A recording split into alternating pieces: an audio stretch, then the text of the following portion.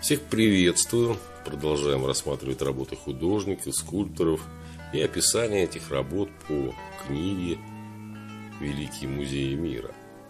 Обручение святой Екатерины Паула Веронезе около 1575 года, холст масла 377 на 241.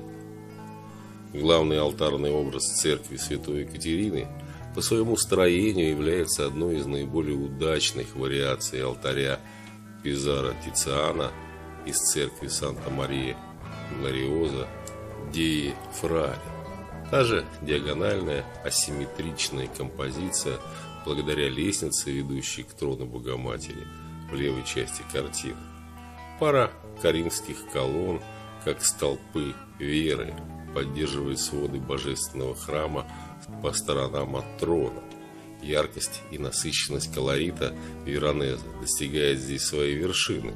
Богатые красные, синие, желтые и золотые краски будто светятся изнутри.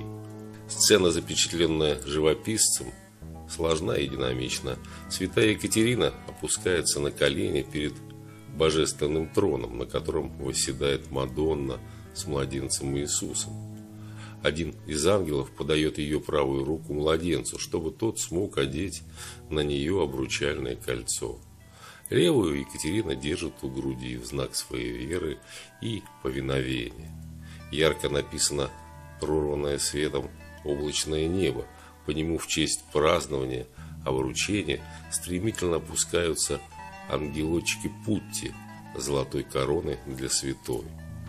Ангелы у края облаков наблюдают за действием, в то время как другие вокруг трона и у его подножия настраивают инструменты и листают ноты, выбирая, что исполнить по такому поводу.